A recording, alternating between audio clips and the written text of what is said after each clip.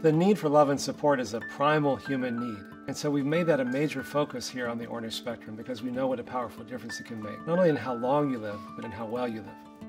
You know, sometimes people say, oh, this is kind of a touchy feely way of doing things. I said, you know what? It is. This is a touchy feely site because we're touchy-feely creatures. That's what's enabled us to survive as a species. When people first go into our programs, they say, yeah, I can exercise, and sure, I need to change my diet, and yeah, the stress management is probably important too, but I don't know about this love and connection part. And yet, I can tell you over and over again, it turns out to be the part that's the most meaningful. Dr. David Spiegel at Stanford did a classic study where he brought together women who had metastatic breast cancer. They all got the same conventional treatments chemo and radiation and surgery. In addition, one of the groups met together in a supportive environment where they were encouraged to talk authentically about what they were feeling, what was really going on in their lives. They just did that for one year, they met once a week. Five years later, Dr. Spiegel told me he almost fell off his chair when he looked at the data because those women actually lived twice as long as the women who didn't have the support group.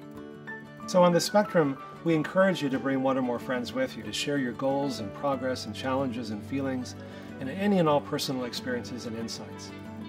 Having a tribe of people, a group of friends that you can be authentic and open with and to share what's really going on in your life with, is not only going to help them, it's going to help you as well. Study after study has shown that people who have love and joy and compassion in their lives are many times more likely to live longer and avoid getting sick than those who feel lonely and depressed and isolated. It's our feelings that really connect us. So while spending your time with your friends and family and loved ones might seem like a luxury, you know, something you do after you've done all the important stuff, it turns out that this is the most important stuff. And knowing this can inspire us to make different choices, ones that are both more healthy and more joyful as well as more fulfilling.